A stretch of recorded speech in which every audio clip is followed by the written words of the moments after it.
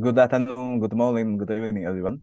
Welcome to uh, TADAT Coffee Chat on emerging approaches to managing and collecting tax debt to improve tax payment compliance. My name is Go Nagata, Public Management Specialist from Asian Development Bank. I serve as a moderator for today's session on the debt management. Uh, we discuss uh, debt issues because uh, we observed that uh, many of our Asia Pacific economies are struggling with high level of uh, uncollectible debt. Also, on the other hand, I think the uh, uh, development of technology uh, providing the opportunity for tax administration to modernize uh, debt management system and boost overall revenue. So given that, uh, we thought that uh, it's interesting to discuss uh, this topic based on our regional experiences and uh, countries' experiences from uh, Malaysia and Japan. To this end, we are inviting three speakers. First speaker is Ms. Annette Chooi, IMF Revenue Administration expert. She has over 30 years of experience as a senior executive in the Australian Taxation Office, where she has she worked across a wide range of revenue administration activities. Annette has worked as a short-term expert with IMF Fiscal Affairs Department for over 10 years, and with other development partners, including ADB. She will present regional trends on tax debt management, tax debt management in Asian Pacific region and international good practices based on recent uh, ADB's publication, she authored. Hi, Annette. Uh, thanks for joining us today. Would you like to say a few words? Thank you, Go. It's very nice to be here. Um, I think uh, you have introduced me quite adequately. Um, so I'm happy to leave it at that for now. Thank you. If you would like me to start my presentation, give me the nod.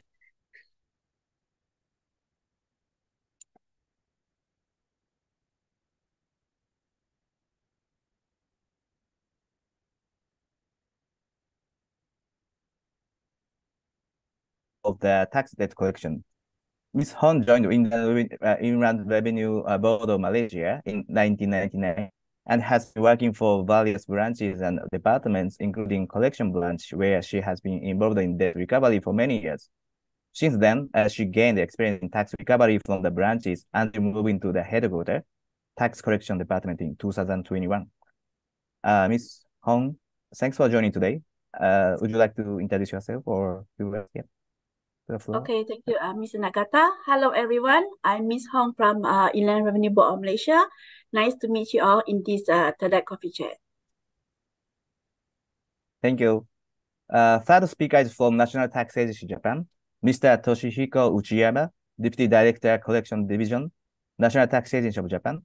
He joined the Japanese Tax Authority in 1999 since then, he has worked at the valid, valid level of the authorities from local tax offices, a regional tax bureau, and its headquarters uh, in National Tax Agency. In light of his expertise, he has rich experience in on the areas regarding system development and data utilization. Hi, Mr. Uchiyama. Thanks for joining us today. Would you like to Hi, say Mr. words to the Nagata. floor? Uh, good evening, everyone. I'm Toshiko Uchiyama uh, from National Tax Agency of Japan. Thank you for your time today and see you later. Uh, thank you, uh, Mr. Uchiyama. Ms. Ho and Mr. Uchiyama will share us uh, their country experience with focus on their data management strategies and the adoption of advanced advanced analytics, artificial intelligence tools, and the digital payment options. After the presentation from the uh, three speakers, we will move on to the Q&A session. If you have any question, please post them to the chat or whatever you appropriate. So without further ado, uh, let's move on to the presentation from Annette. Uh, floor is yours. Thank you, Guy, and uh, welcome again, everyone, to this presentation. And thanks to um, to TADAT secretariat for arranging it, and also thanks to my colleagues from Malaysia and Japan for providing some practical examples of the sorts of things I'm going to talk about today.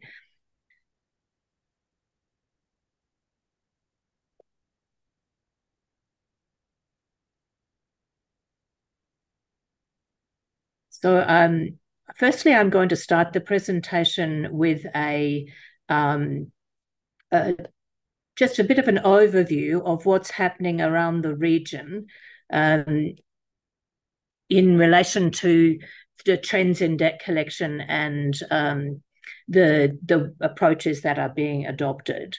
Um, so we we know because of COVID uh, that there's been a lot of pressure in the debt area, and a lot of countries around the world have in fact given debt holidays or payment extensions and the like. So most countries developed and developing are facing uh, reasonably high debt inventories at the moment. Uh, having said that, though, um, there were some trends that we were observing before the COVID pandemic hit that suggests that there were some fundamental weaknesses in some areas of debt even prior to the additional pressures that emerged with COVID. Um, but before I move into focusing on debt, and I know most of you on the line are debt collectors, so you want to talk about debt, but debt sits, as we all know, in a bigger system. And it's important not to lose sight of that. Um, although, in the end, ultimately, if payments are not received, then revenues are not received. And it doesn't matter how much we raise, if we don't get the payment, we don't improve the country's um, financial position and revenue mobilization. So, debt is particularly important, but it doesn't operate on its own. And so, I just remind you of the important precursors of having people correctly registered in the system and getting filing in on time, as well as getting reporting accurate so that payments that are identified, debts that are raised, are correctly raised.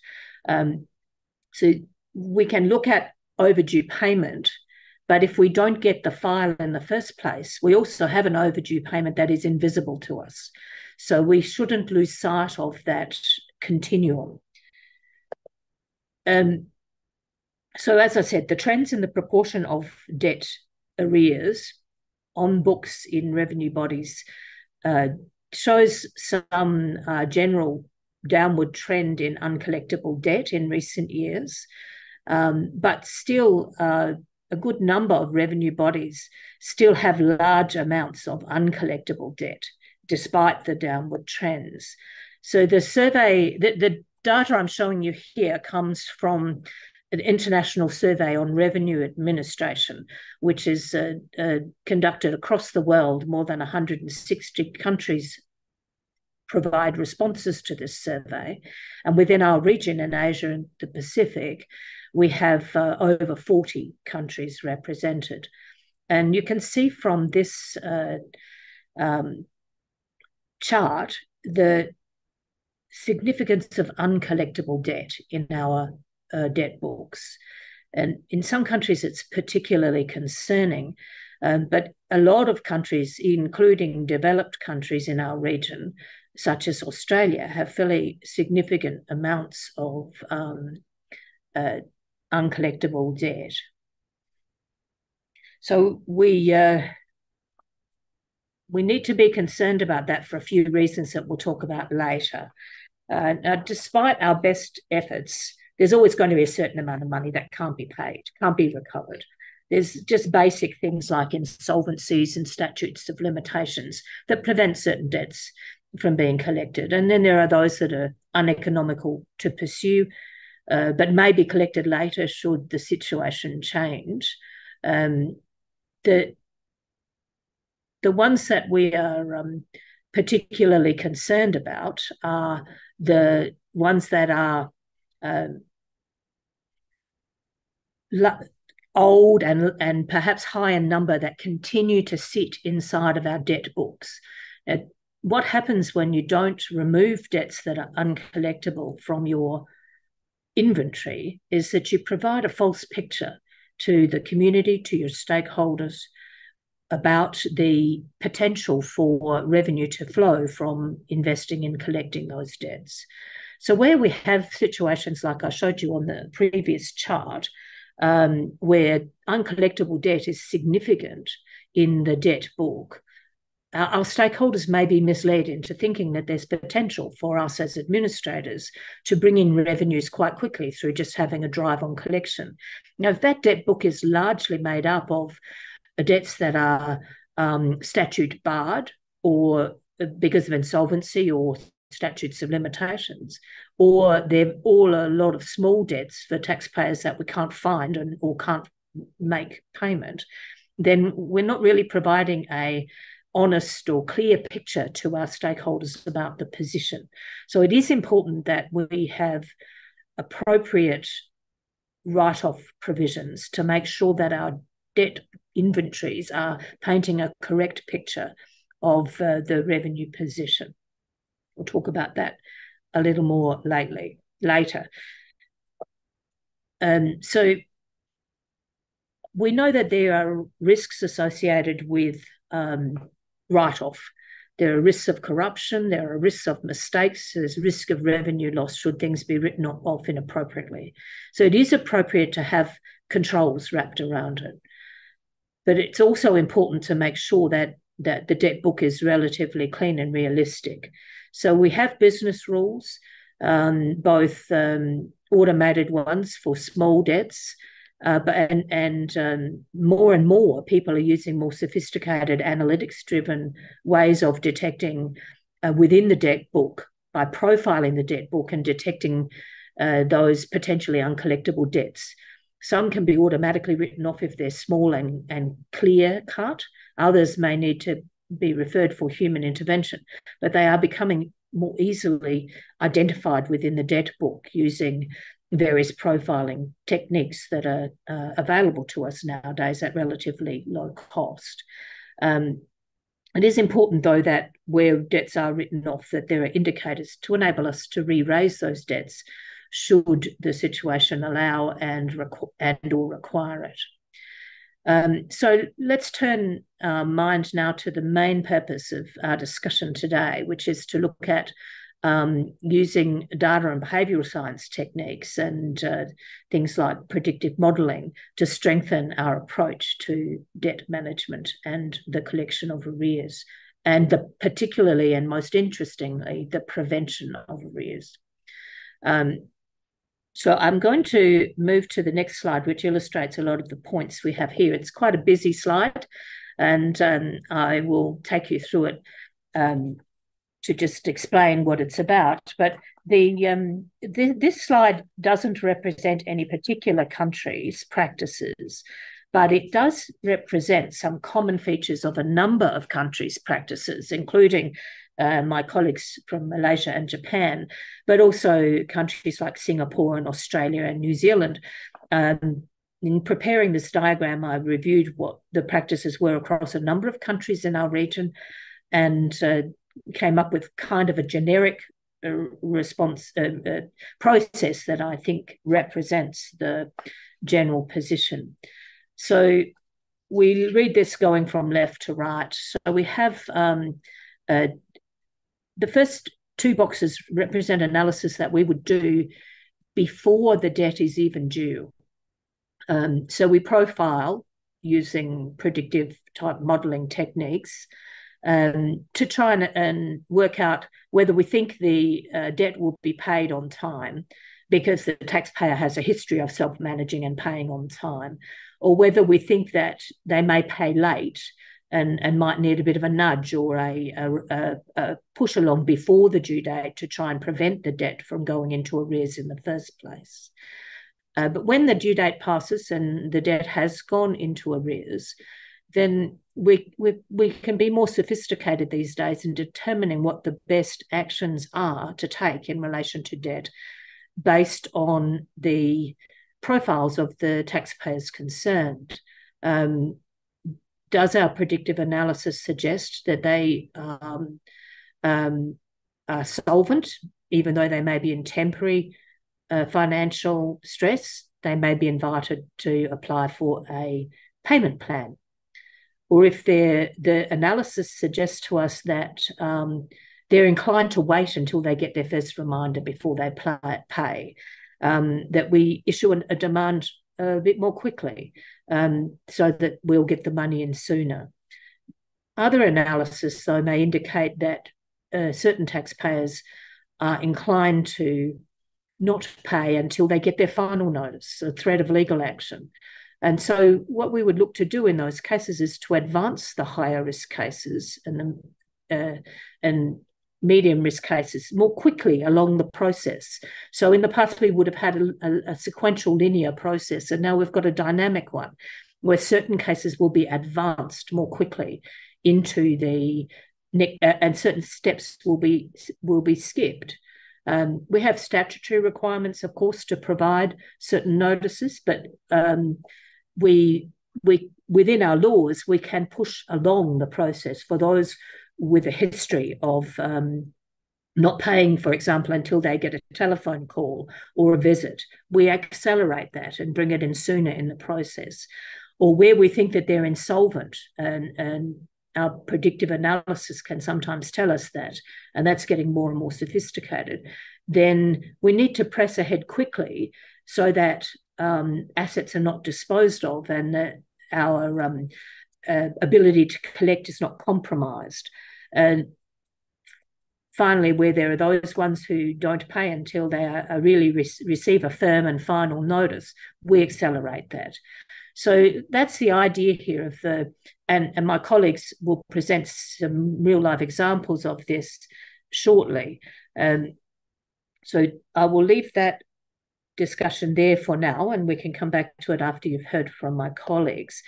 Um, but just now to, to wrap up the discussion, um, so we're here having a TADAT coffee chat. So I thought it'd be a good idea to just remind ourselves of what TADAT, the TADAT framework field guide says about debt. And there are three key elements for uh, good uh, debt management and arrears management. The first one is to have a sound foundation. The laws um, making appropriate provision for due dates, uh, approved payment methods, uh, ways of calculating the liability and the payments due, interest and penalties um, that can be imposed appropriately according to taxpayers' circumstances. Um, collection systems. That now, what that means is uh, systems that prevent debt, withholding or advanced payment systems, or even just reporting systems, so that um, there's sources of uh, uh, information about uh, assets uh, and income flows and an appropriate legal frame, legal framework that gives us the right powers that we need when we do have to revert to recovery, um, and contemporary late payment penalties that are, are fair and uniform across core taxes, and importantly, the ability to grant time payment arrangements in appropriate situations. The second um, that uh, focus area is on prerequisites. Um, so I talked before about this high levels of on time filing to enable establishment of amounts owed quickly, um, the requirement for tax clearances in order to deal with government contracts and, and perform other important activities in business, and, and an, an effective arrears management IT subsystem, which provides reliable reporting on the incidence of arrears and generates automatically certain reminders um, and can be flexible enough to do the things I just showed you on the earlier slide of accelerating certain cases in in the and changing the orders of actions. Um, and and that that this system also provides case management and allocates cases to appropriate officers with the skills needed for the cases concerned. And in some cases, these days also makes recommendations to the case officer about the type of action they should consider.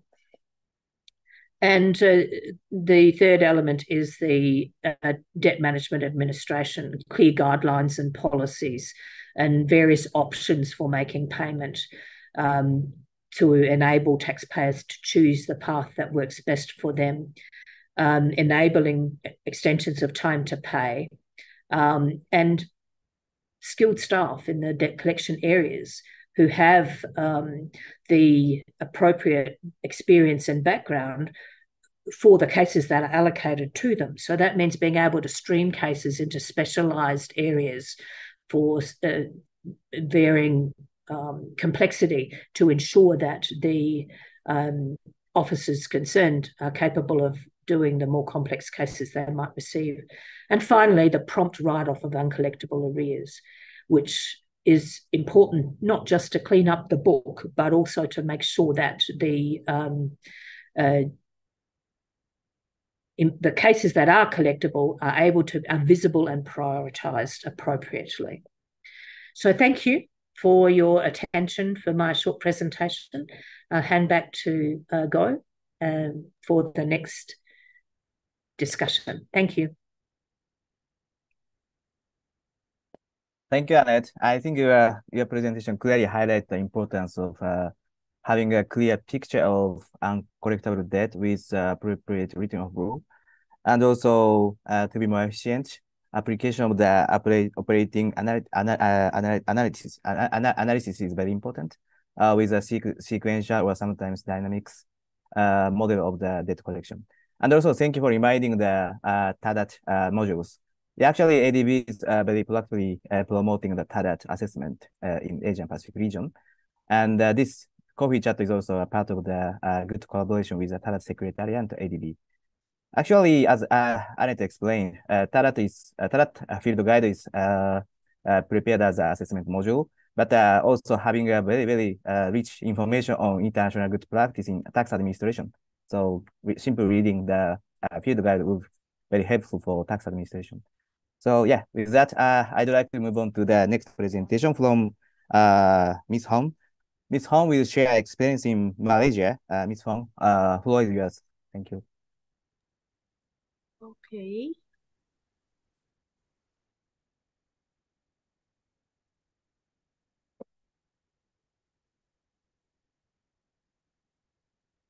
Okay, thank you, Mr. Nagata. Okay, I hope everyone can see my slides.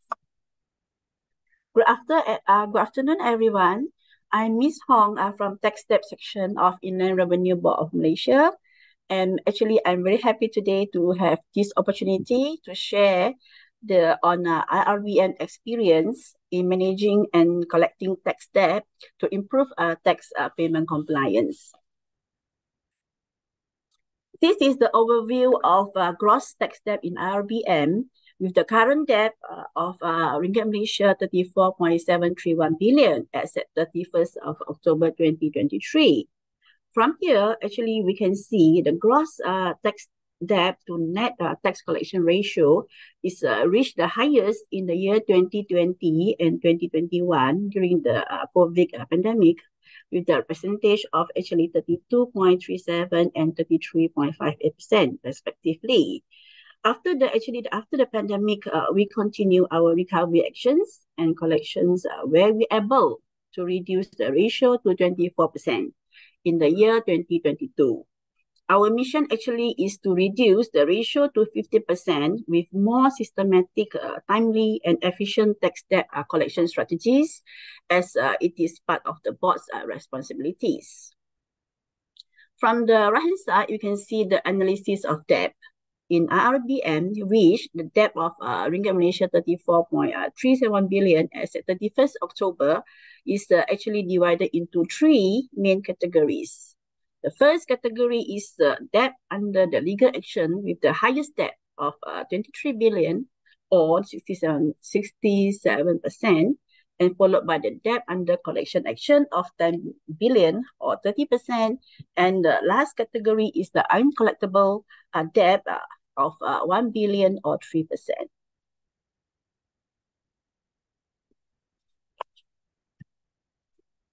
This is uh, our strategic uh, tax debt management, which uh, we are implementing in IRBM.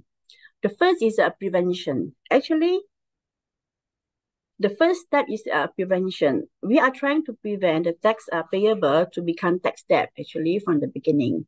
Therefore, we divided our tax uh, debt collection strategies into before and after due date. Before the due date, actually, we were engaged with the taxpayer by giving soft reminders to them where we use email blasts and outbound calls to remind taxpayer to pay before the due date. We conduct this approach in the case of advance payment and current tax raised in the current year. For the advance payment, repetitive emails will be issued if the taxpayer default any advance payment in the year. With the soft reminders and repetitive emails, actually, we can increase the tax payment compliance and the tax collection as well. For your information, the email blast and the outbound calls are handling by our Hasil Recovery Call Center. Recovery. Actually, the next step is to recovery. If the tax is already uh, overdue and the taxpayer did not make any payment or there is still an outstanding of tax, the collection unit in the states, okay, will start collection actions upon the taxpayer. There are three levels of uh, actions to recover the tax debt. The cycle uh, begin actually with the collection action. For debts aging within one to two years, okay, which we have early and continuous engagement with taxpayer.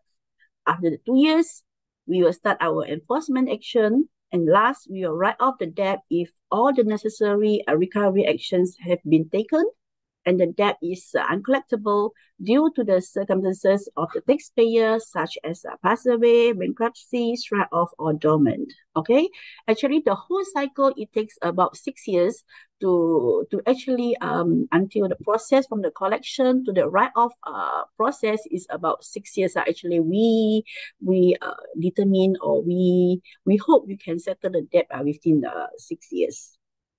In order to make sure the strategies can be implemented smoothly. Actually, we, IRBM, we have this, uh, what we call collection toolbox, okay? And the revenue management system and the KPL as well to make sure all our tax debt management strategies uh, can be conducted uh, very smoothly. For the following part, I will share our experience. Uh, our, no, I will share our collection toolbox and revenue management system function in improving the tax payment compliance. This is uh, the collection toolbox uh, we are using in IRBM or in Malaysia. This toolbox actually is divided into four level of actions, okay? Which level one and level two refer to the actions for collection wait, uh, sorry. Okay, there are four levels uh, in the uh, four levels of action, which level one and level two re refer to the actions for a collection. Level three is uh, for enforcement action, and level four is uh, for write-off activity in the life cycle of tax debt management. This toolbox actually just uh, provides a guidance to our officer of each and every actions can be taken in recovery of tax debt from level 1 to level 4. In level 1, we normally issue email blasts, reminder, let, reminder letters, and conduct outbound calls. This actually uh, will be doing automatically by the HQ, by our HQ, uh, HQ and collaboration with the Hasil Recovery Call Center due to the large numbers of taxpayers. In level two, actually the case is conducted by the tax collection officers in the state. In this level, the officer will do case study and determine the most appropriate and available collection action. There are various actions uh, in this level okay, such as uh, we can conduct a premise visit, we can caveat the property, we can appoint of agent or third party, we can uh, do the travel restriction and notification of civil proceedings. Actually, these actions are very specific and, and need to spend more time and effort. The officer need to study case by case with all the information from internal and external resources. Their working experience, knowledge, negotiation skill, judgment, and decision are the key success factors to collect the tax debt. Actually, in IRBM, we conduct most of our debt collection actions or activities or strategies in level one and level two. Okay, due to the debt aging is less than two years and the potential to collect is higher. From the statistic, which we can show that the debt reduction under actions taken in level one and level two is almost 90% compared to the 4% from the ex- enforcement action and 6% from the uh, debt written off. Out of the 90% uh, debt reduction, 56% is from the tax payment, 34% is from the reduced or revised assessment, and 10% is from the installment plan. Okay. This is the reason why actually we focus collection actions in level one and level two to aim for tax payment and increase uh, tax payment compliance. This is because the potential of collection is higher in level one and level two, and the complexity of action is lower compared to level three and level four. The officer will continue to actually conduct the enforcement action in level three, especially for delinquent taxpayers. This actually is conducting by the legal unit in the states. With this uh, collection toolbox, actually the case officer will able to know actually where where are we, okay, what are the actions that have been taken and actually what is the next uh, next action, uh, okay, to handle with the with the case or with the debt. I'll continue with the RAMS. This is our in our revenue management system or debt management system, which we are having in IRBM. Actually, we are using a revenue management system. It's a debt management system which using advanced analytics, and it is actually integrate with other internal tax system. It is real time to ensure fast, efficient and accurate collection actions with the highest uh, collection in return in RAMS, okay? The process begin with uh, segmentation of debt by age of debt, amount of debt, and status of the debt. The segmentation of debt is relating to the collection actions in collection toolbox. From the segmentation, the officer can actually focus deeper, okay, through the search key of filtering characteristics such as uh, they can fill by state, they can uh, sorting by locality, they can sort by file type, they can by text type, by range of debt, segmentation of debt, MBA, or any other, or debt amount, okay? All the collection actions are taken by the officer will be recorded and the list of past actions taken will be displayed in the RAMS. From there, the officer actually were able to know and determine or to decide what is the next uh, best action according to the tool collection toolbox. For example, if the record shows that the previous action was issuing a reminding letter, so the officer will not issue the letter again. He or she will proceed the next action like make a call to the taxpayers and due for payment or installment plan. In RAMS, actually, the progress of actions for every case of debt can be monitored, starting from the date the case is assigned. The collection officer will able to know how many cases have been assigned, completed, pending for actions, and cases not done yet. With that, report for every level of, of actions can be generated from RAMS to review the performance and reevaluate the, the debt collection strategies.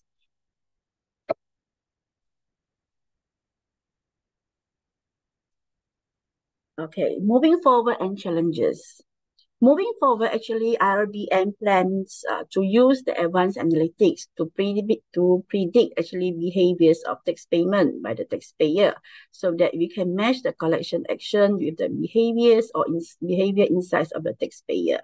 This actually will increase the success rate of debt collection, increase tax payment, and improve tax payment compliance and reduce the tax debt we actually will also um, develop uh, customer segmentation for debt collection using ability, ability to pay and likelihood to pay.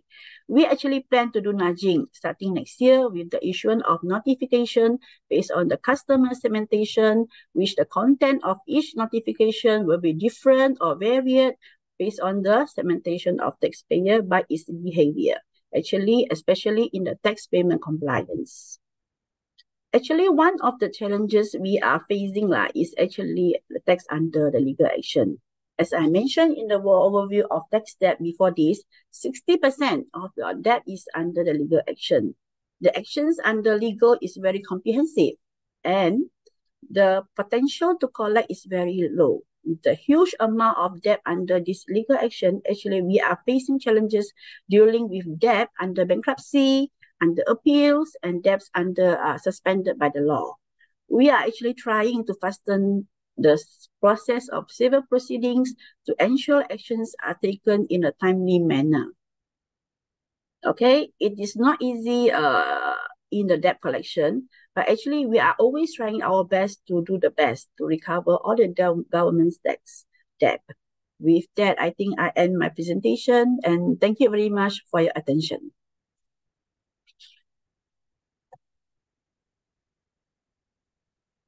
Thank you very much. Uh, I think I, I, your presentation is very clearly mentioning about your, uh, basically yes, uh, I say simple and uh, clear your uh debt strategy, and it was it was supported by very comprehensive and staged approach of the uh, collection toolbox. And you also highlighted the importance of the uh, uh, data data data, uh, data for for taking that, that stage approach uh, by by gathering the comprehensive integrated uh, having a integrated database. Uh, yeah, and you also uh, mentioned about uh, application of the advanced analysis. And probably I have a question, but uh, maybe I would I'd like to first uh, uh, move on to the next presentation from uh, Japan Japan's colleague. So, Mr. Mr. Uchiyama, uh, floor is yours. Hi, thank you, Mr. Nagata. I'm Toshihiko Uchiyama from National Tax Agency of Japan.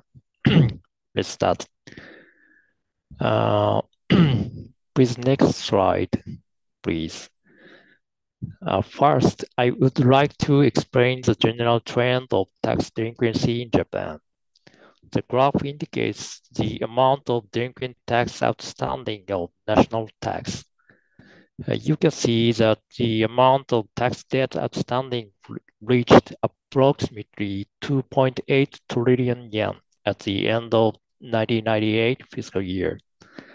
In order to respond to this situation, various measures have implemented to prevent delinquencies and promote voluntary payments.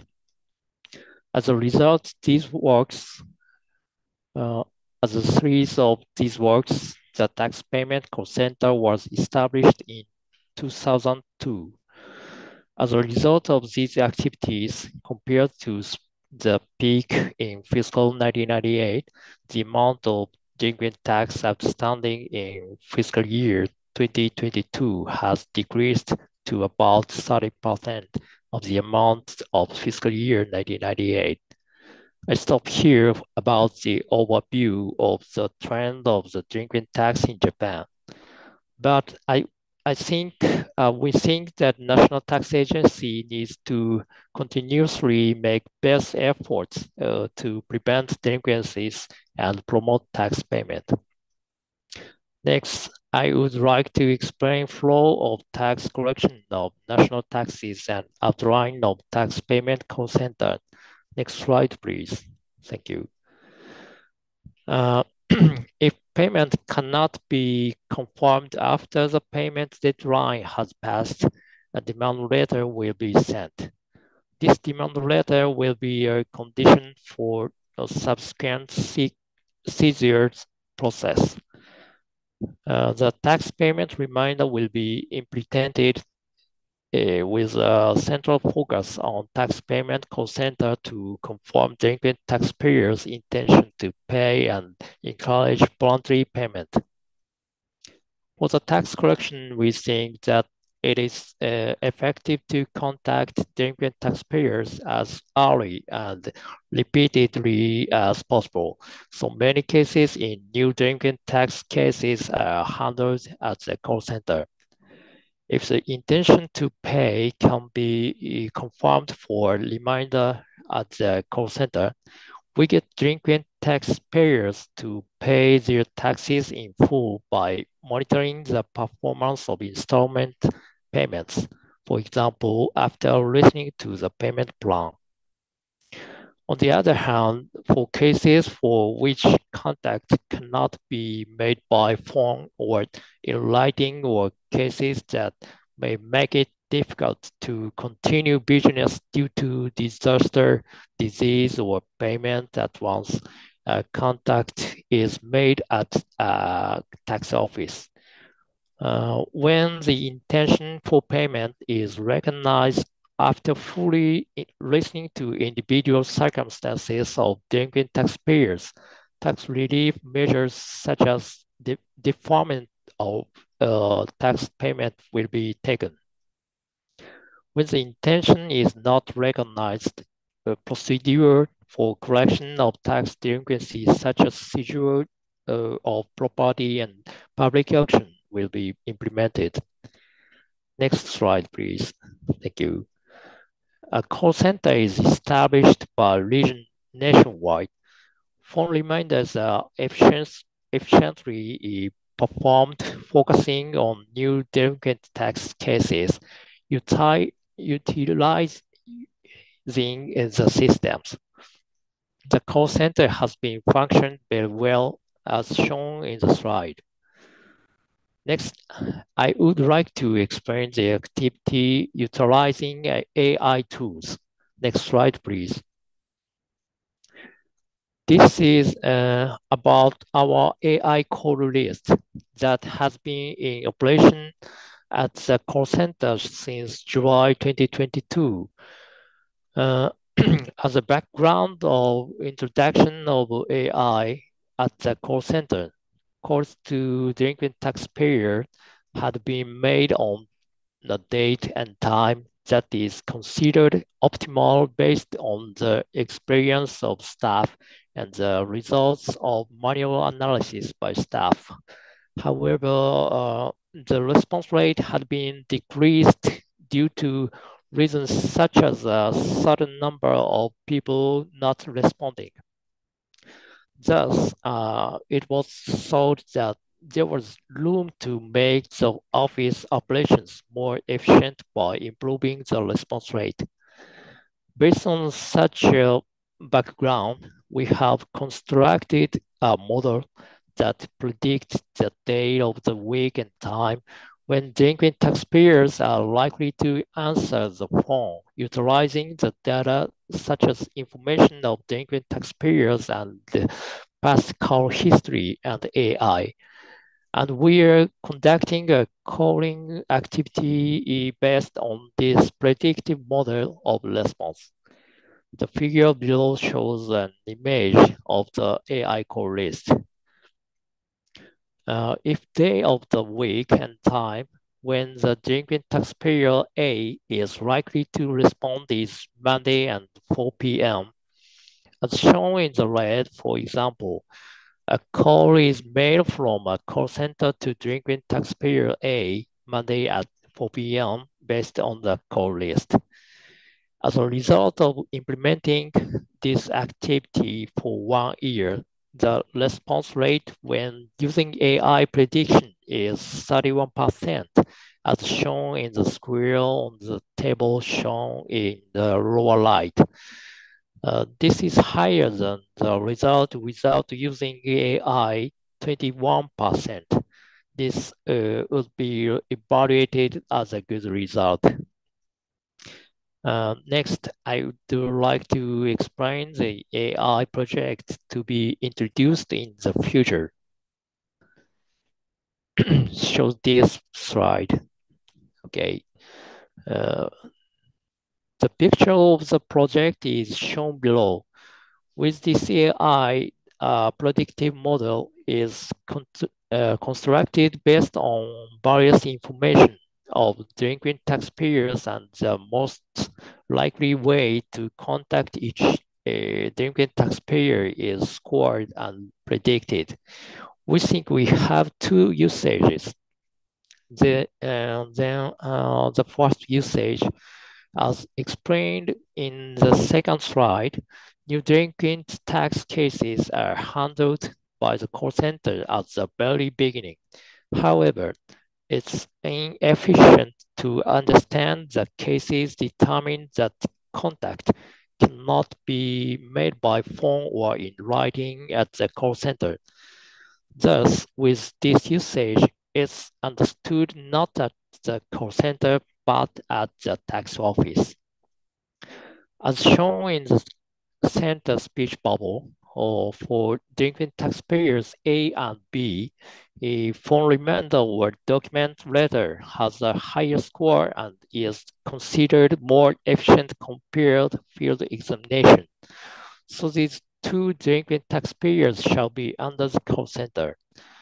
Uh, on the other hand, for the delinquent taxpayers C, the field examination has a higher score, so this delinquent taxpayer shall be under the tax office. Another usage is shown in the right speech bubble. A tax office comprehensively considers suggested score and individual circumstance of delinquency case to select a main of contact from field examination from reminder and letters. In this operation year, we would like to try this usage once. Uh, finally, uh, I'd like to explain the broad and comprehensive delinquency strategy uh, we call uh, future vision of tax administration. Next slide, please. Okay. As shown at the top of this slide, the data uh, is a, a, source of wisdom, value, and uh, competitiveness, and is positioned as a trump card to solve social issues of developed country which has new problems, Japan. Also in tax administration, we believe that it's important to work on BBO as well while improving efficiency and sophistication of office work by utilizing the data. For this reason, National Tax Agency will push ahead with three activities as shown in the figure below. The first activity is utilization of AI and data analysis. Uh, like I explained today with the uh, predictive model. The second activity is utilization of online tools. One of the tools is the remote consultation with the web conference system. Another activity is the receipt of data of accounting documents through a secure system. It's obviously more convenient for taxpayers to submit documents by data. And the same is to tax collection works as well in light of the efficient process and analysis of the information. The third activity is digitalization of inquiries uh, to related organ organizations. Currently, the national and local governments are co collaborating on data such as tax returns and uh, coordinating with relevant departments to expand the scope of linked information. In addition, uh, we will strive to expand and strengthen utilization, collaboration, and cooperation of data that can be obtained uh, through exchange of information with foreign tax authorities. Uh, we believe that we can promote efficiency and sophistication of collection work by promoting activities shown above. We'd like to conclude my talk. Thank you for your attention. Thank you, thank you, Mr. Chairman. I think it's really, I, I think I, I think it's very impressive to see that the uh, National Tax Agency Japan has already a concrete outcome of the use of AI, which is uh, one of the uh, key topic of this session, uh, with the uh, use of the call list. And you also try to expand in the use of AI for for how to approach the uh, taxpayers. So, uh, thank you very much for your presentation. So uh, now uh, I'd like to uh, uh move on to the uh, QA sessions. And uh, me, while waiting the QA question from the floor, I'd like to ask a, a couple of the follow-up questions to the each presenters. So maybe we, I'll take reverse sequence and I have a follow-up question to Mr. Uchiyama. So for the last slide and and and and last two slides, I think you are you are also working on new initiative like for the uh, use of AI for how to approach taxpayers and and how and enrich the data collection uh, to to use uh, that data for the uh, data management. So in doing such a new initiatives, are you facing any like challenges or I mean problem issues and you have some lesson learned from how to address your challenges? If you could share such experience, uh, that would be helpful to to the to the participant. Yeah, thank you. Over to you. Uh, I'm sorry to speak uh, Japanese. Uh, えー、例えば、あの、AI コールリストに関する課題として、えー、特定の曜日、時間帯への予測が集中しすぎると、その時間帯にオペレーターがこの全ての対象者へ電話できないので、えー、まあ、ターゲットを絞る工夫が必要となるっていうのが課題です。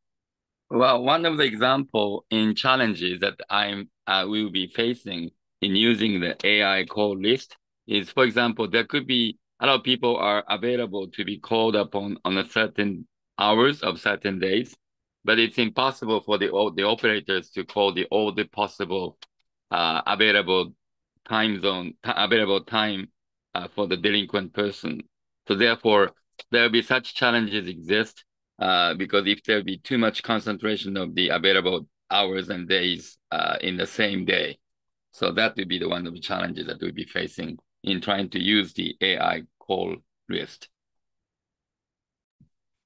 あ、また、あの、今後ですね、あの、また今後、永続的にこの良好な成果を上げ続けるっていうことが難しいので、まあ、成果が出なくなったときは、予測モデルのこのチューニングを行う必要があります。And also, uh, we need to fine tune the predictive model uh, continuously because uh, it was okay, it was successful. However, in the future, uh, there may be possible that the it may not be able to predict as much as it used to do. So, in order to continue to be successful, uh, we need to continue to Uh, continuously fine tune the predictive model itself. That is another challenge.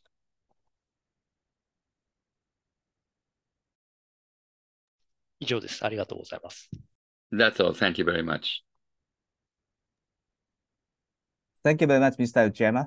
Uh, then uh, I I may ask uh, I'd like to ask question uh, to Mr. Uh, Ms. Hon. So you mentioned about the last slide about the advanced analytics to predict behaviors, behavior insights, and matching with appropriate collection approaches, action niche strategies. So I think this is also the today's uh, key one of the key today's key topics. So would you elaborate uh, how you utilize those approach in, in, in your data collection and uh, like as as a like like I asked to the Mr. Uchiyama, if you are facing any challenges, uh, that will be helpful to share the participant. Yeah, over to you. Okay, thank you. Actually, um, to to to con to overcome this, uh, actually we are moving forward lah. Okay, I was with the initiative. Actually, we are moving forward. The main challenge lah. Okay, we can foresee is a part of uh data analytics, where actually we need to run a series of data to determine the taxpayer behavior and come up with a compliance model. From there only, actually we can decide what are the suitable uh, collection actions and measure the result of the actions. The, because this is because the behavior of taxpayer actually uh, may change, okay, uh, and the actions must be changed as well. Okay, we cannot use the same approach to all the taxpayers because the impact will not be the same.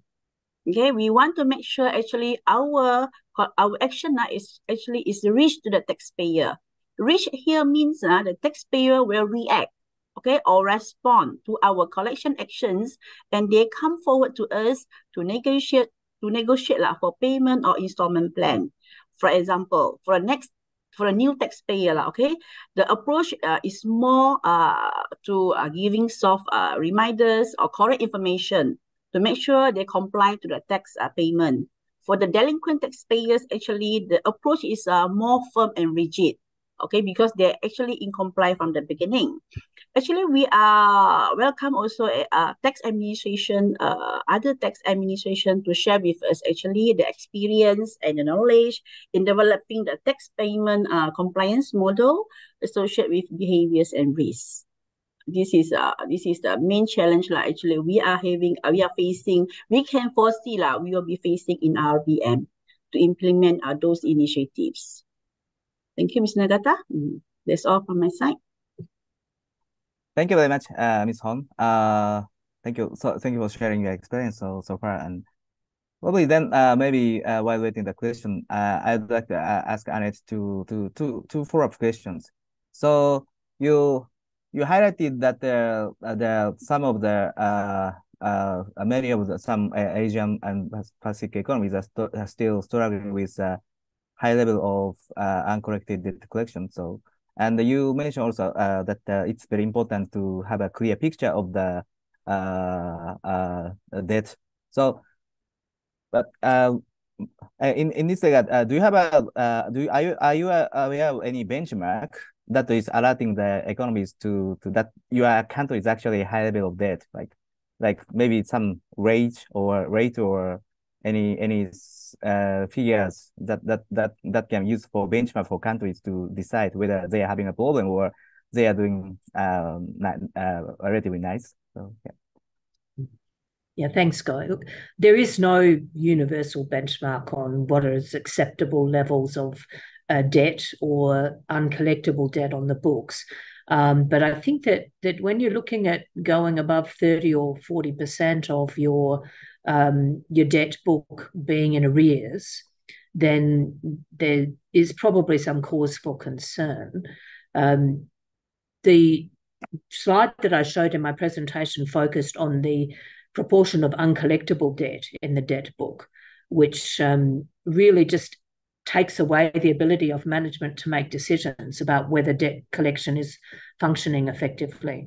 And my experience in working with countries uh, across the region and in other regions as well is that um, the uncollectible debt situation is quite often very large proportion of it is uh, uh, never going to be collected. So, um, you know, the taxpayer has passed away, or the company is insolvent, or the statute bar has already been passed. Um, that that that is a real serious issue of inadequate write-off procedures. Our colleague from Malaysia mentioned the importance of write-off at the end. No, you, it is very important to make sure that write-off is strictly controlled and that there are divisions of decision making and delegated powers are um, restricted to relatively senior people for larger amounts. But if there's one thing that you can do outside of the sorts of things we've just talked about to try to manage your debt better, it is to make your debt inventory cleaner so that management can see what is the real situation. And colleagues have talked about aged debt and the likelihood of collection diminishing rapidly after the first year, and then after two years being seriously compromised. When you have a debt book that is full of very old debt, it is very easy to lose sight of the ones that are most likely to be collectible. That is the newer debts. So I really encourage people to have a good look at their write off procedures and to make sure they keep their debt book clean. Um, I, I, can't give a benchmark because it, I mean I, I, look at the graph from before. Even countries like Australia have quite big debt books. Um, so, but their their age of debt is not so great. So there, there's a tendency in some countries to pay late, but not to never pay at all. So there's a um, a turnover of the book. So you can have 30 or 40% of your debt not paid on time, but if it's paid within six months, it's not as a big issue as if it's not paid within six years. So you really have to look at it country by country. Thanks Thank you very much. Yeah. Yeah, I think uh your your message is clear. So, and my next question to you is uh you also uh mentioned about the importance of keeping a connectivity uh, among the taxpayers, uh, tax administration, administration's key operations, meaning like a filing and corrections, and those needs to be kind of like uh, operated integratedly. So uh, I think uh, that that is clear, but uh, how how tax administration uh, can approach to achieve that uh, outcome? Yeah. Mm -hmm. Yes, I think that it, it is because most of us are to a large extent functionally structured. Um, so we tend to uh, arrange our organisation based on the core functions of taxpayer service and and registration and filing and and um, enforcement and audit and collections, we do tend to look at the the um, activity that we're working in, the function that we are involved in in isolation. Um, and it, it, as an organization, though, at the executive level, um, they need to be just as concerned about late filing as they are about late payment. You could actually say that a taxpayer who has paid late is more compliant than one who has filed late, because at least their, their debt is in the system and you know about it. So it's the things you can't see there. The failure to file and therefore not crystallize a debt is invisible. So, uh, but it's still a debt. You just don't know about it. So there is it is really important to have a look at the whole of the system end to end from time to time and not just focus only on the function that we are responsible for. As debt collectors, of course, we look at our debt book. That's our um, responsibility, it's our assignment. But if uh, at a management level, we need to be looking across the taxpayers. So there's there's uh, a role there for segmentation to have, be having a look at each key taxpayer group and see how they look from end to end across the compliance continuum. And occasionally we have to lift our sights as managers and executives to look at the whole system. Um, for but then breaking it down in different ways through different windows, like large business or high net wealth individuals or um, uh, small and micro businesses occasionally just looking at a slice across the functions, not just down the functions. Thanks, Guy. Thanks, Alex. So while waiting, yeah, we got a, a question from the floor. I will just, uh, it's in the chat box, but uh, I will read out it the floor. Uh, this is a, a question to the uh, Ms. Hon, whether the debt collection methods include property seizure like bank accounts. So that's a question to Ms. Hong. How about you? Okay, wait. Uh, pardon. Um, there. Oh shit. Oh, oh my god, my god. Hello, pardon. Uh, Ms. Nagata, can you repeat the questions? I, I cannot hear. Uh, yes. Uh, the, question is. Uh, hmm? Question is. Uh, whether the debt collection methods include property seizure like bank accounts. Oh, oh yes, yeah. yes okay in in um in the in the recovery action actually we also uh we also seize the taxpayers uh, property not to uh if let's say prior to uh, we have a recovery action in, in order to recovery back the debt actually we also caveat the taxpayers asset okay? It means that uh is a is a is a is a so that in advance we caveat the asset actually actually taxpayer cannot sell the asset to other party okay? Before they sell the asset they have to come to us and make the payment or arrange for the payment and then they only sell. We can release the caveat okay? And then they okay they after that they can only sell to other party. Uh, this is the action. Actually we are very uh effect is a is a very uh effective action. Actually because with the but before that, we need to search for the title of the property. We want to make sure actually um, uh, the property is belong to the taxpayer. Even though uh, they want to sell to bank, they want to uh, they want to sell to bank, they also need to uh, get a clearance from us to release the caveat. Okay, this is actually what we are doing uh, if for the taxpayer uh, who have uh, this uh, property. Actually we we most of the cases uh, we we caveat on the uh, like a building like a land it's actually uh, most of that is a land or uh, it's a land uh, actually uh, uh, uh register under the taxpayers or the uh, taxpayers name mm. thank you thank you Ms. Hon. so mm. uh yeah i think i think you clearly answered the question so uh yeah and so we now waiting the question from from floor, but uh, like probably if uh each panelist has a questions questions or comments to a presentation, I mean, yeah, we can we can discuss among the panelists. So yeah. any comments for other presentations from Annette? Yeah. Yeah. Uh, actually, uh, Miss Enid, I have uh, I have actually I'm, I'm very uh, interested in your topic of uh to keep our debt book uh, clean okay? Actually we we because um in our debt profile actually debt profile we have uh we have um many debt actually which is overdue for a long long time. Like if in our record we have uh tax uh more debt uh, more than uh six years is considered very old already. That's why in our procedure we, we plan to see okay the most is uh, six years. After six years actually we have a clear uh, write off write off policy to clear the debt actually. To clear the debt is only for the bookkeeping. Actually, we're still tracing the taxpayer.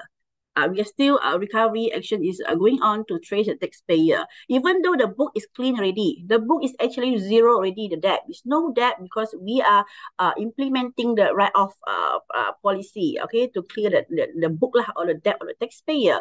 But actually, we also conduct uh, recovery uh, uh, against the taxpayer, okay. But actually, uh, from your uh, from your uh, op from opinion, like actually, how long actually is uh, consider uh, uh is a uh, debt is considered um, not all or or very uh, uh is um is um reasonable uh, accepted uh life lah of the of the debt actually how long actually? We can we can actually uh, must stop there from continue uh, to become the debt uh, because the older the debt essentially is very hard to collect. Okay that's why we have a write-off policy. Actually what is the reasonable uh, debt aging lah okay? From your opinion or from your experience actually we can uh, consider uh, in our uh, debt recovery. This is what actually i'm interested Thank you. Yeah, so yeah, so I, you um your presentation highlighted that window at the front end, that first two years being really important, and I think everyone would agree with that. And there are studies that show that um, there's a rapid decline in the collectability of debt after the first year. So, in looking at your risk profiling, one of the things that most bodies will do is have a high priority for new debt, uh, particularly new large debt um, so there's as you go after the first year, within two or three years, your chances of collecting the debt are already down to less than 30%. Um, so your practice of saying let's take them out at six years is is a realistic approach in that at that point you have limited chance of ever getting that money but there are a number of organizations that do what you're talking about which is to have a complex recovery area or a complex tracing area where even though you write the debt off, unless you are statute barred, some countries have a statute bar, uh, others don't. Um, if you're statute barred, well, that's it, it's over.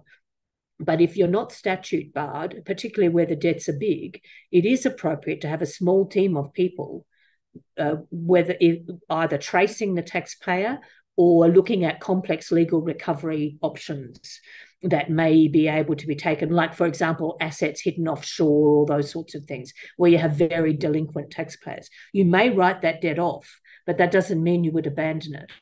Sometimes you'll continue to try to find avenues for collection, and if you find them, you re raise it.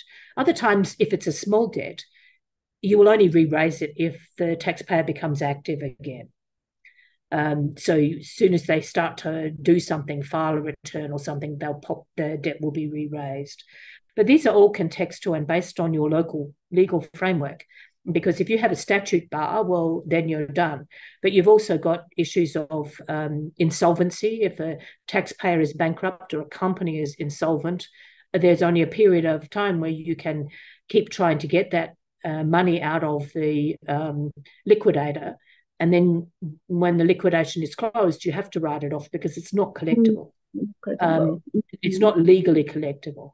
Um, and there, and of course, there are situations where the taxpayer passes away and the estate doesn't have anything. So there, there are mm. points at which it's clear you should write it off sooner than six years, uh, if there's a bankruptcy or a liquidation or a death or whatever. But um, the the more important side of that, I think, is uh, recognizing that new debt is your opportunity. So put most of your resources into new debt. New debt. Um, yeah, yeah, which is I know what most people do. Yeah, Miss Annette, actually in our policy, a write-off policy for those taxpayer already uh passed away or the company already uh dissolved, already uh bankruptcy, actually we have no time limit. We can straight away write it off. Uh, for those Yeah. uh, circumstances, we are for those uh, inactive or we cannot be traced. We need to wait for another six years because actually we are trying to recover back the debt. Okay. Another question, maybe I, I would like to uh to to to ask opinion from Miss Enid about the handling with a small amount of debt. Small amount of debt. Actually, we have in our in our debt uh, profiling segmentation, we have a a a, a quite of uh, the, the numbers is very big. Okay, with the taxpayer with amount of uh very small amount of debt actually how do we handle like like uh like in our ringgit Malaysia is about less than 25 ringgit okay we predict as a below less below uh 25 ringgit we consider it as a, a small amount of debt actually we have uh like 400 or 1000 of these taxpayers. Actually we doing currently we are doing email blast. We are just a uh, very soft uh, very um uh, because amount is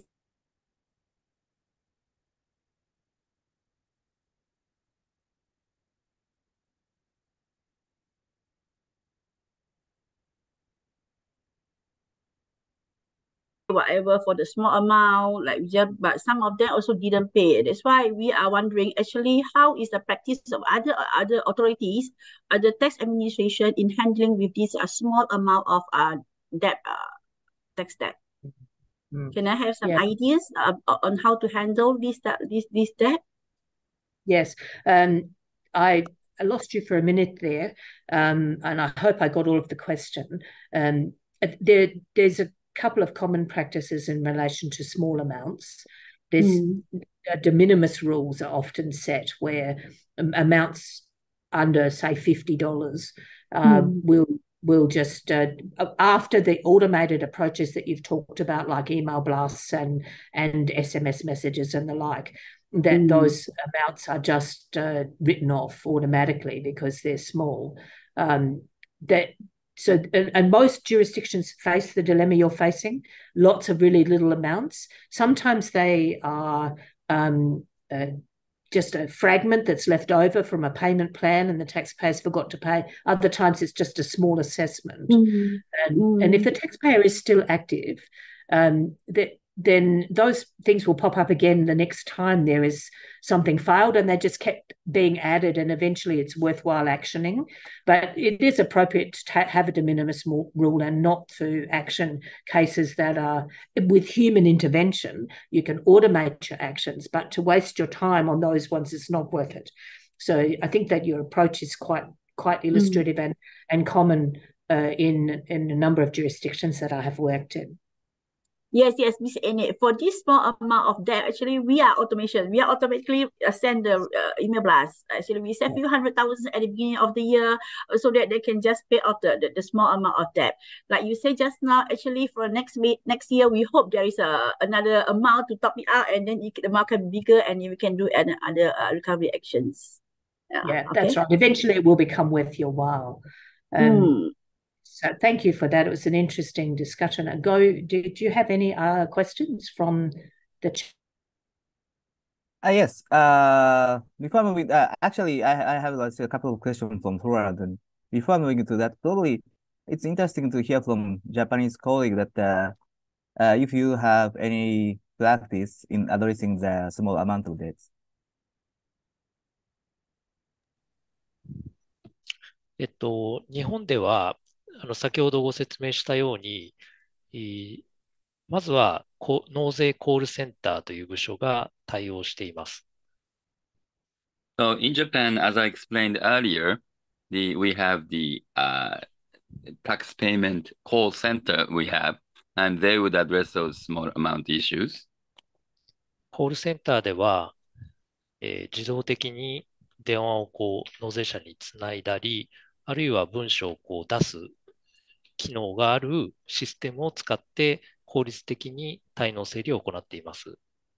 So we try to arrange and manage the delinquency uh, of the tax debt uh, by using the system in the call center to call automatically to the taxpayer or the uh, automatically issue the document so that we can send it by mail. その結果、おおむね8割程度の滞納者を納税コールセンターで処理することが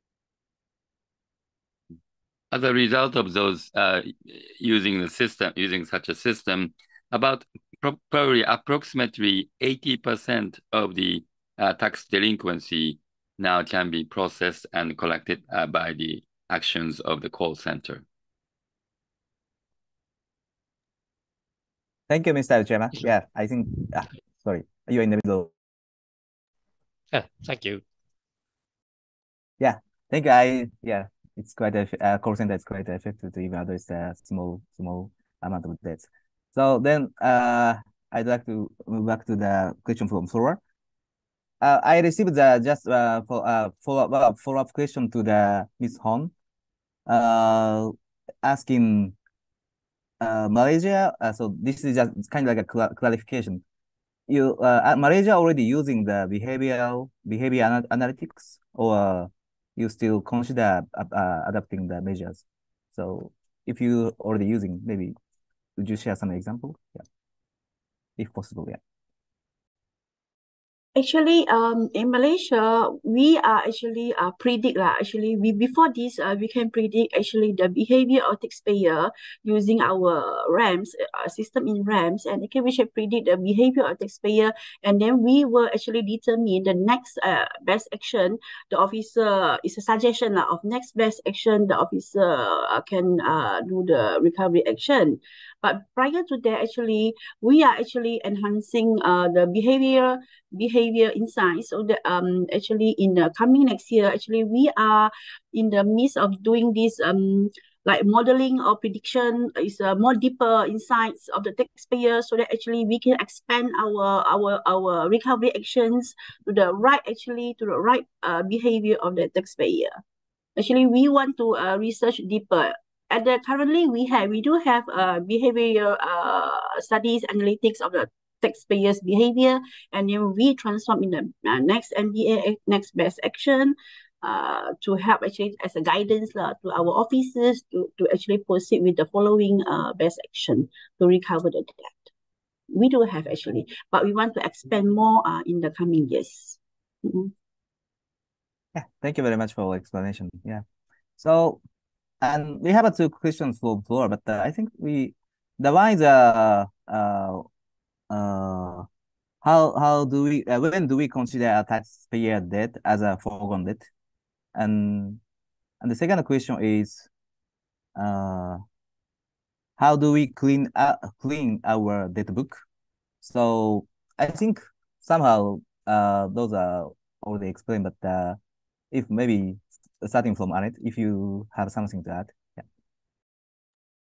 Yeah. So the first and most important thing when we're talking about write-off and uh, is to have some approved policies uh, in relation to what is a foregone debt. How do we determine that a debt is collectible? How do in uncollectible? How is it defined? And the definitions need to be articulated very clearly in a organizational policy that is uh, followed by staff who were involved in working on um, preparing write-off submissions, or in um, the case where there are certain automated write-off actions, those need to be included in the policy as well. And the th- sorts of things that you would be looking at, including in a policy to define a debt that is uh, uncollectible, include starting from the legal provisions. Do you have a statute of limitations? Um, what happens when a taxpayer dies. Uh, certain debts are forgiven on death, others are collectible from estates. Um, how what is the size of the debt? How much investment is necessary in collection before you can say you will write it off? If the debt is 25 ringgit, then the investment should be quite small. But if the debt is 250,000 ringgit or dollars or whatever currency you're using, then clearly the extent of collection action expected before write off is higher. Uh, but then you will look at things like are there is the taxpayer untraceable? are there any assets that can be identified and secured? Um, is the taxpayer um, potentially hiding assets offshore? Is there are there assets that may be able to be um, retrieved with a legal investment in recovery, and is that investment worth it? Um, so the definitions are quite complex, but there are a number of um, uh, references that you can find that will give you some ideas. The OECD has published some uh, on what what how you might define a uncollectible debt um, in different situations, and then the next step is how who is authorized to approve the write off of that debt. And again, that has to be variable depending on the size and uh, the the importance of the debt. Um, and the nature of the reason why it's uncollectible. If it's statute barred, then it, it, it you have no choice but to write it off. Uh, even though a lot of agencies don't, really, you have you cannot collect it, so you should be writing it off.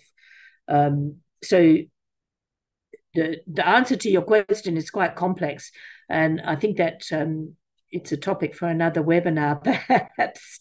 Um, Guy, let's let the others have a chance to talk about it. Uh, I've had, hold the floor a little. Yeah, thank you, Alex. No, thank you very much for leading the discussion on that. Ms. Home, uh, Mr. Gemma, uh, do you want to say something on these questions? Yeah. Uh, okay, let me uh, uh, let me say something about this right right off then. Actually, in uh, Malaysia, uh, in IRBM, we have a very clear policy on uh, on write off.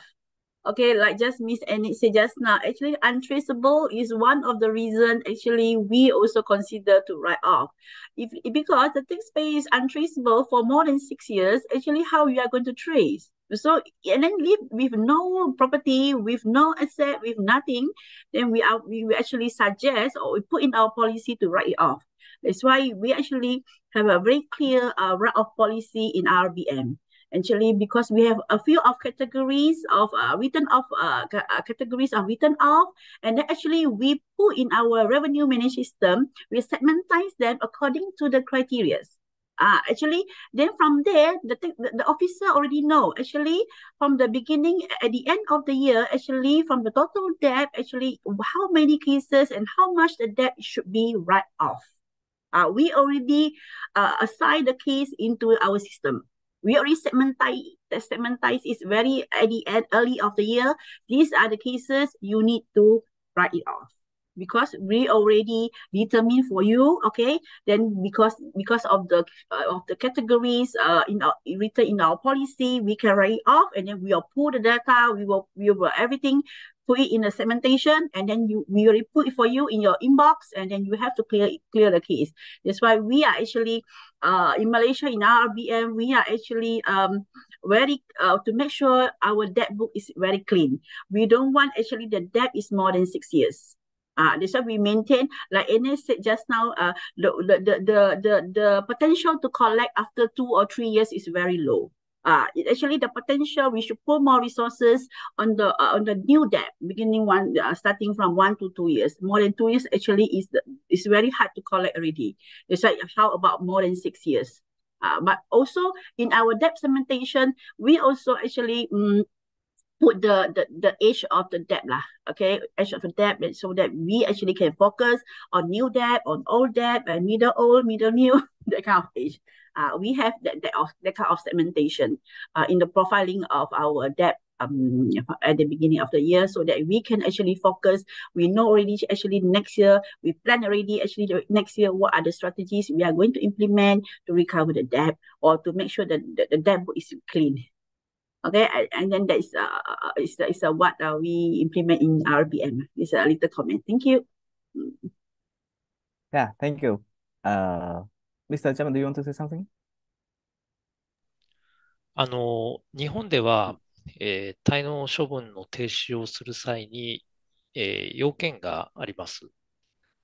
Uh, there's, there are requirements when we will stop the uh, delinquency uh, processing. あの、その要件とは、一つが、あの、滞納処分のをすることによって、その納税者の生活を著しく急迫させる恐れがあるときです。And the requirement is such that if we do such a uh, forced uh, seizure of the uh, tax debt by for the delinquent taxpayer, if that would uh, uh, significantly worsen the uh, lives of the to maintain their lives, if that is significantly damaged by the uh, tax payment itself, then uh, we will that is a require that if that requirement is met, then uh, we will not uh, see, seize the or the uh, receive the tax payment. もう一つが、納税者の所在とか、あと、 滞納処分を執行することができる財産が不明な時です。Uh, the other requirement is such that the uh, we don't know where the delinquent taxpayer is, we don't know, or uh, if there's no assets that that delinquent taxpayer have, do not have any assets that when we try to execute the tax payment. 最後の条件というのが、あ滞納処分を執行する、まあえー、財産であったりとか、あと徴収共助の要請による徴収をすることができる財産がないときです。And also, uh, if they don't have any asset, the last requirement is that that the if the delinquent taxpayer has no asset at all, or where the delinquent uh, processing is possible, nor uh, if there's no have no assets where the uh, the collective assistance of the uh, this assist, assistance in tax uh, tax collection uh, is not possible due to the no not, not having the assets by the tax, delinquent taxpayer. 日本ではこの3つの要件を判断材料として、個々の納税者の実情に応じて、えー、その法を適用していくということになります。So, so in Japan, it is case by case that we will make a judgment in considering the situation that the delinquent taxpayer is in, and then we'll make the appropriate decision whether we would actually execute the tax collection or not. はい。Well, uh, thank you. That's all. Thank you, Mr. Chairman. I think it's very interesting to see that uh, how how uh, two countries are taking different approach. Like, yeah, Ms. Hong is uh, basically in Malaysia, uh, age is very important, but uh, in Japan, uh, uh, put more focus on like case by case case case by case approaches in in retail. Okay, I think we are now running up, uh, up running up the time, so I'd like to close the QA session and the, the coffee chat as well. So if any of panelists has uh, some humor in, in, in the last. Okay, then uh, I think uh, thank you, thank you for uh, thank you Annette for leading discussion, sharing many experiences, and uh, Miss Hong and on for for sharing Malaysian experience. I think I think that and Mr. Jama, it was very impressive to see that uh, how NTA utilized uh, AI in debt collection. I think today's discussion is uh uh uh, uh focusing on uh, written off, uh, which is not not right there yet today's topic, but uh, as Annette mentioned in, at the beginning, it's very important issues. So I'm glad to have uh, uh, some uh, experience uh, sharing uh, in these issues. So, and last but not least, I'd like to thank for uh, Jacqueline, Jacqueline and uh, Jacqueline and uh, Adele from the TADAT Secretariat. Uh, they are based in Washington D.C., so meaning it's it's it's very early morning, but still they are supporting our TADAT Coffee Chat. I appreciate that. And thanks, thanks, uh, but not least, thanks for participants to joining this session and uh, uh, giving us uh, many questions to enrich the discussion. So with that, I would like to conclude the uh, TADAT Coffee chat. So thank you very much. Thank you. Thank you. Thank you very much.